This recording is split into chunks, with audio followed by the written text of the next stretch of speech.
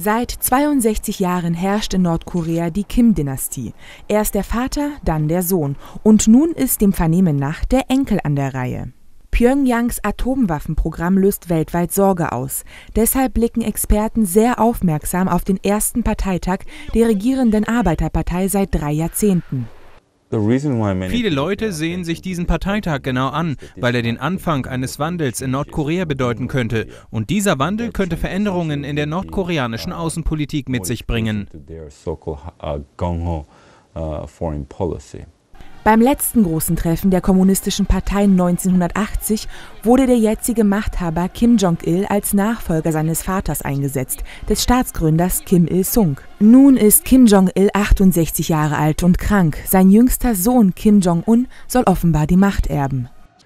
Manche Leute spekulieren, dass er den Vorzug vor seinen beiden älteren Brüdern erhalten hat, weil er seinem Vater am ähnlichsten ist in Sachen Persönlichkeit, Politik und Zukunftsaussichten.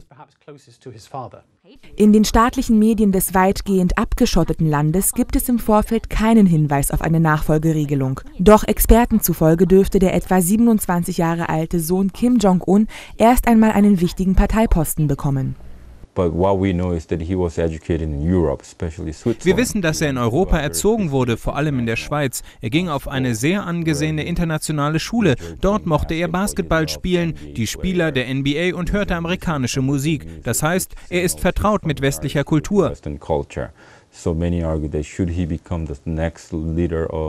Viele sagen, er wäre wohl offener für Reformen als die bisherige Führung, wenn er Nordkoreas nächster Anführer würde. Than, say, the previous leadership. Schritt für Schritt dürfte der Enkelsohn an die Spitze der Macht geführt werden.